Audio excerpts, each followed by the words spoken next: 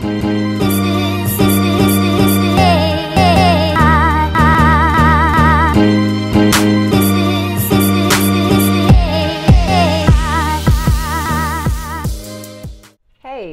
greetings, Royal Family. I truly hope all is well with each and every one of you. And I hope that you all are having a beautiful day no matter where you are in the world. Okay? I know I have Royal Family from all over the place. So wherever you are and wherever you're watching this, I truly hope all is well with you and yours. So, as we know, it's February, February 1st, and this is the month of love, right? This is the month that everyone seems to be celebrating love and romance, as we all know, uh, due to the holiday Valentine's Day. Now, I won't get into that. I won't get into the real history of Valentine's Day and how everything got started. That's irrelevant. But what we are going to do, since we know that everyone takes advantage of this month um, to give and receive love and practice the act of love and even romance or however they do so with family, friends, and significant others, well, since the vibration is probably going to be raised a little bit this month, I decided to go ahead and do a little challenge um, and do something that can contribute to my channel, to my royal family, and raising our vibration, making our lives a little bit better, um, and contributing to my wellness as well as my royal family's wellness. So if you're down for the challenge this month, let's do it. So it's February 1st, and the theme for this month that I want to do is going to be all about love, compassion, and gratitude. That's right. All things love, all things compassion, all things gratitude. And I'll tell you exactly what I mean. So, with this theme, we're going to have three different components, okay? So, we're going to have love, compassion, and gratitude. It's very simple. It's going to be very easy. I'm just going to give you some examples of how you can do this for self and for others, okay, under the three categories. So, first, we're going to talk about love, okay? So, when we're talking about love, obviously, that's a really broad topic, but what we're going to be doing is it's going to consist of mind, body, and soul, and a lot of self care routines. So, let's get into that. So, some examples under the topic of love for self, okay, we're going to be talking about love affirmations. So, for love affirmations, all you have to do is just write this down. Write down a few. Uh, you can look this up on Google. There's so many examples out there uh, where you do self-love affirmations. So for self, you can start with um, like I am, uh, things that that show love. I am love. I am life. I am light. I am incredible. I am amazing. I am dynamic. You know, things of the nature, things that resonate with love. And you can practice and say this every day. You can get as creative as you want to. And you can do this for yourself as well as for others. So you can do I love or love affirmations that talk about how you exude love or how you present love to you others. You can also practice this in the mirror. I've tried this plenty of times. I love it. Um, there's nothing more powerful than not only doing your affirmations, because I usually just do affirmations daily, but to do love affirmations and you're talking to self uh, for your self love affirmations and you're in the mirror and you're looking at yourself. You have to really look at yourself, right? It's like the eye of the soul. You're looking at yourself and you're saying these and you're really believing it.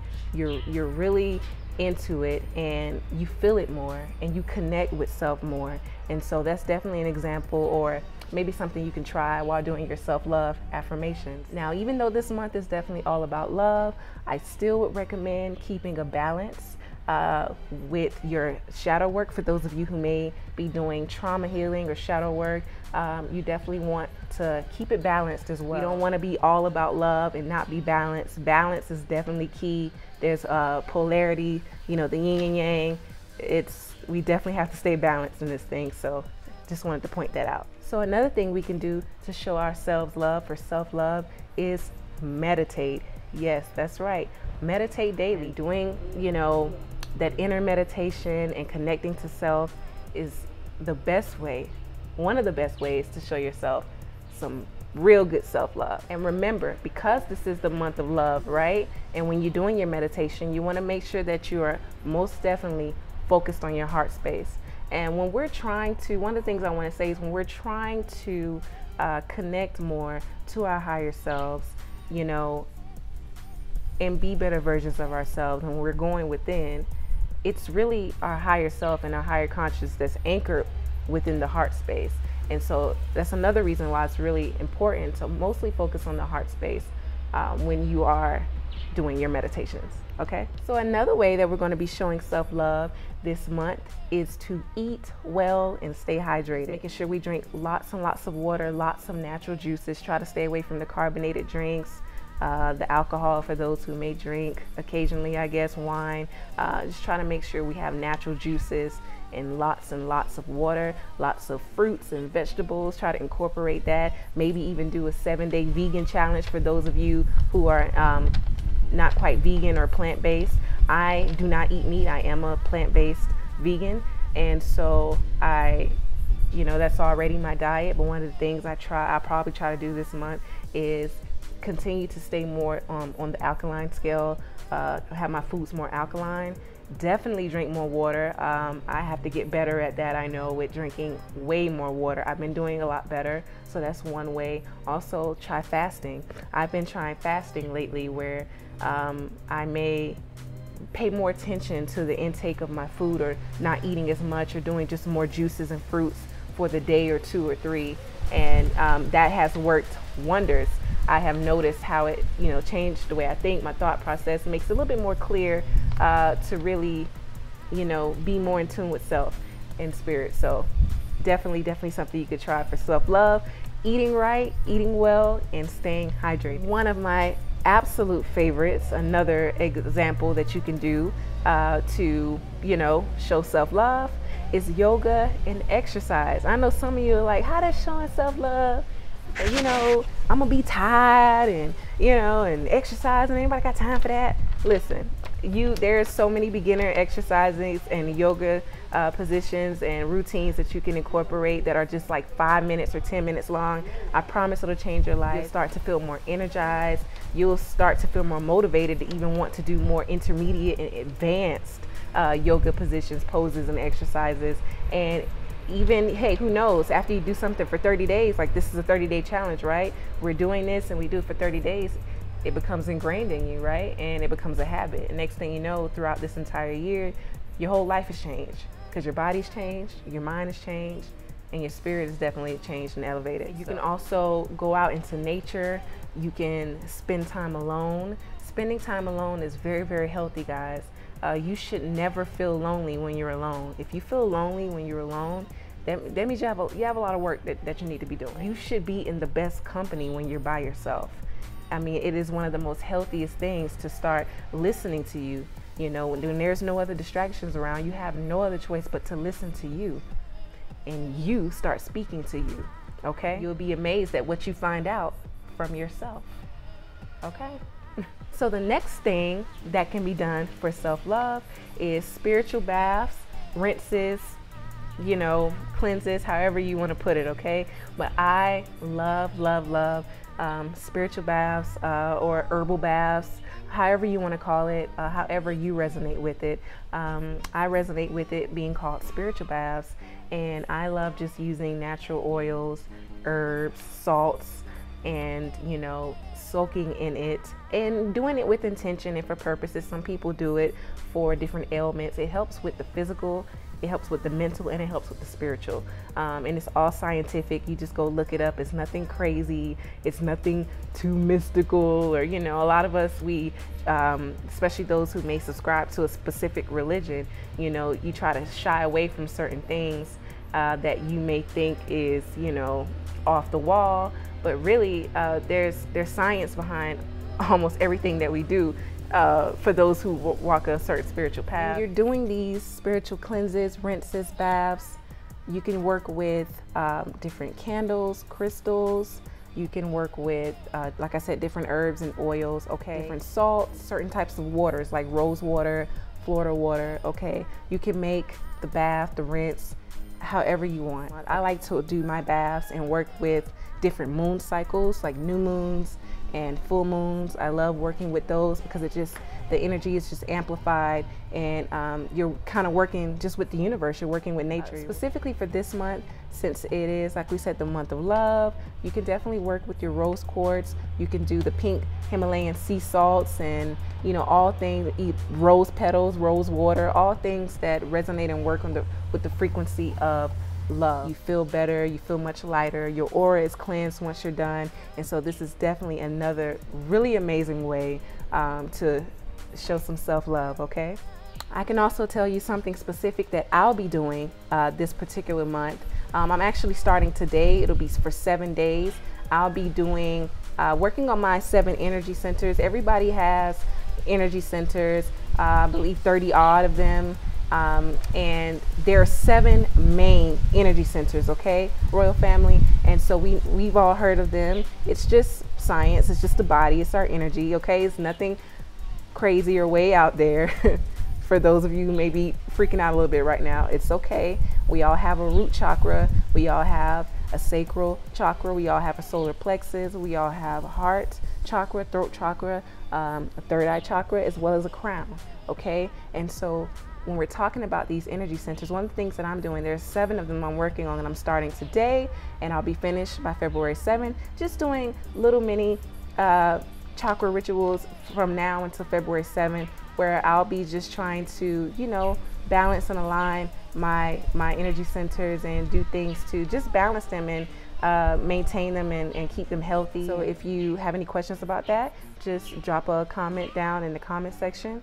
All right, and I'll be more than happy to give you some more information if there's something else that you're interested in. Definitely, definitely, definitely can't forget about the hair and skin routines, okay? That is definitely another way to show ourselves some self love when we're taking care of our hair and we're taking care of our skin.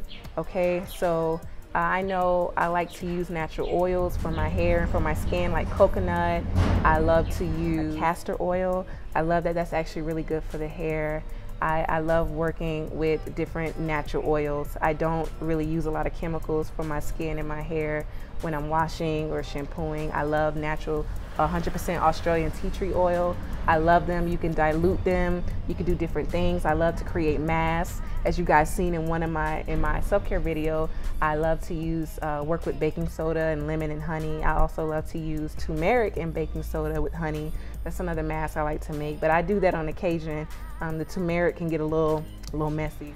So one of the last things on the list regarding uh, self-love and showing ourselves self-love for this month of love, all right, is hygiene, hygiene, hygiene, hygiene routines. And this isn't, uh, this is probably more for my queens than my kings, but kings, it's important uh, to keep up with your hygiene as well uh, regarding, um, you know, keeping yourself shaved, keeping things nice and neat, keeping things clean, you know, bathe, the whole nine, all right? Definitely for my queens, one of the things that I want to introduce is that I've already talked about in one of my other self-care uh, videos is steaming, yoni steaming or vaginal steaming, however you want to call it.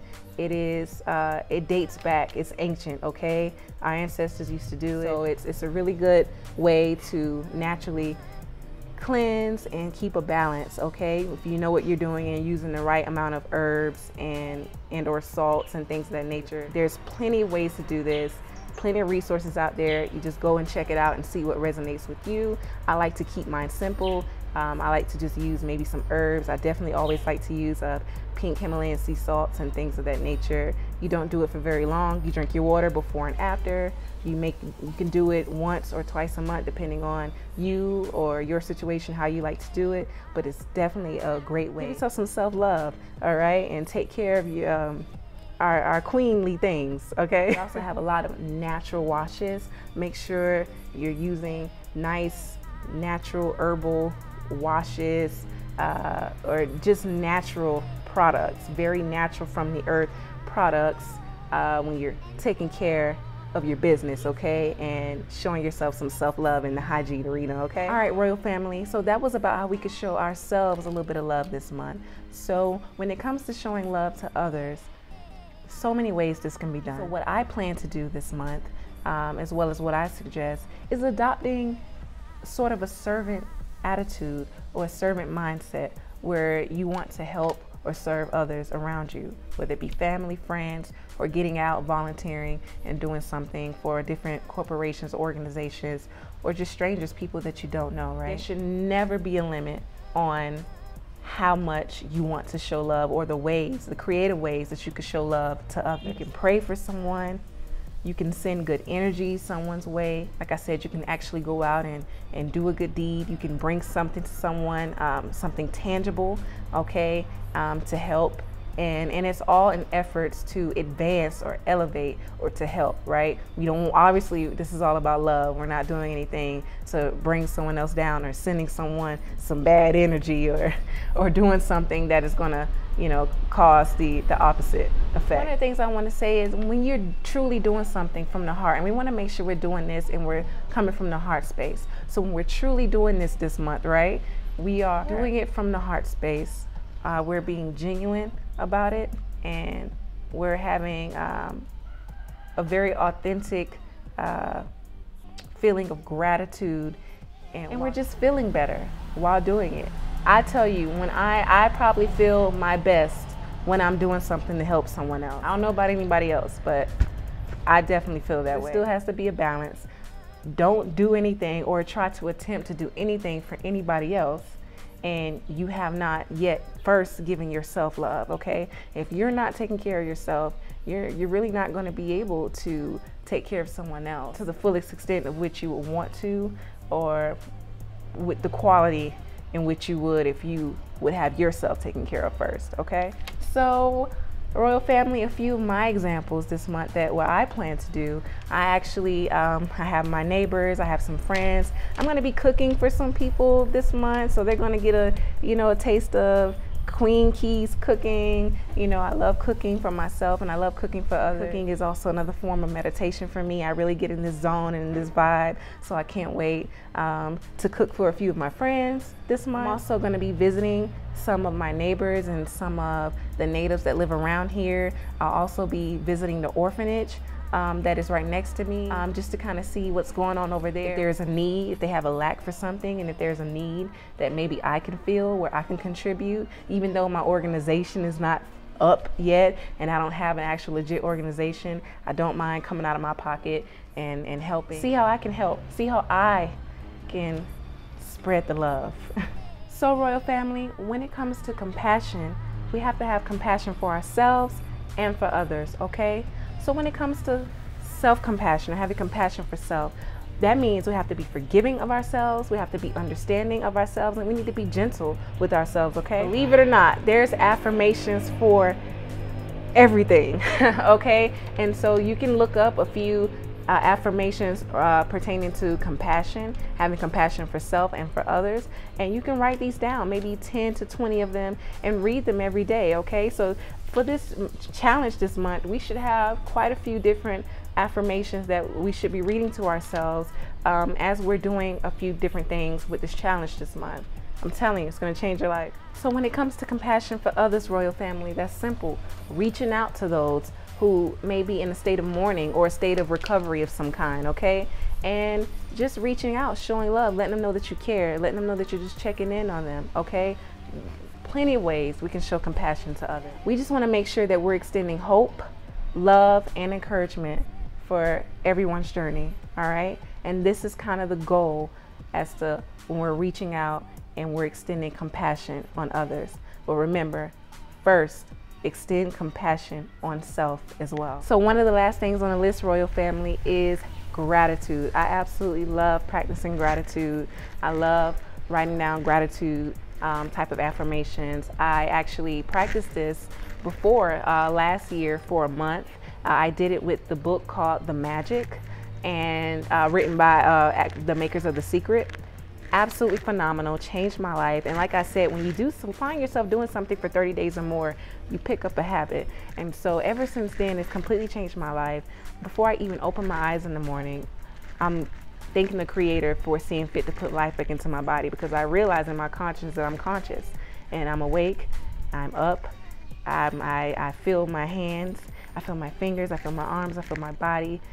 I feel and I'm here and I'm in the now. I also challenge you guys this month, Royal Family, to show gratitude show gratitude, be gratitude, exude gratitude, just everything gratitude. It'll change your life, I'm telling you. So, what we're gonna do is we're gonna write down 10 things that we're grateful for every day. Now, every day, um, whether it's some of them can still be the same, but I challenge you to write down 10 different things every day and recite them at least two or three times a day. So you want to do this early enough where you have enough time to recite this at least two to three times every day as much as you can. Like I said, I understand everybody has different schedules. You might not be able to do so. You might have a day where you're not feeling well. Listen, this challenge is all about doing it how you can um, and to the best of your ability, okay? I'm just encouraging uh, change in a very positive and powerful way. And gratitude is definitely one of the ways to do that. Now remember, you really, really, really want to feel deeply and think deeply when you're thinking about